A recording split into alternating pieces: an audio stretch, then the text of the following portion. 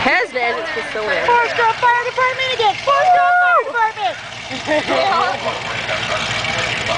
Yeah, third